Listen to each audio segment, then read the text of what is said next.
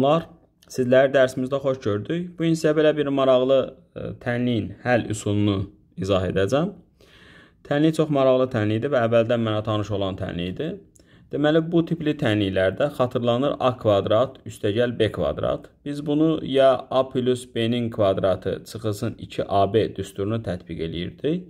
Ya da A kvadrat plus B kvadratı A minus B-nin kvadratı üstəgəl 2AB düsturunu tətbiq eləyirdik. İndi bura baxsaq, buna mən minusla yazsam, bu 2x-in kvadratı daxı, burada da x plus 2-dir.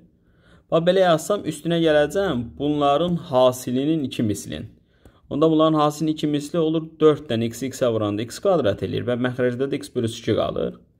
Və gözəlliyə baxın, indi bunu biz orta məxrəcə gətirəndə 2x-lər islah olunur, qalır x kvadrat bölünsün x plus 2-nin ümumi kvadratı. Ümumi kvadratı plus 4 dənə x kvadrat böl x plus 2 o da bərabər olur 5-ə. İndi nə edirik? x kvadrat bölünsün x plus 2-yə bir t deyirik. Onda bu olur t kvadrat plus 5t üzrü sayın 4t bərabərdir 5, yəni tənli həll eləyəcək. Buradan fikir versəz, t-nin biri nə olacaq? Biri 1 olacaq, biri də nə olacaq? Mənfi 5 olacaq. Biri 1-dir, biri də mənfi 5-dir. İndi biz bir dəfə x kvadrat bölünsün x plus 2-ni 1-ə bərabər eləyib bu kvadrat tənli həll eləyirik. Onda burada köklərin biri mənfi 1, 2-dir.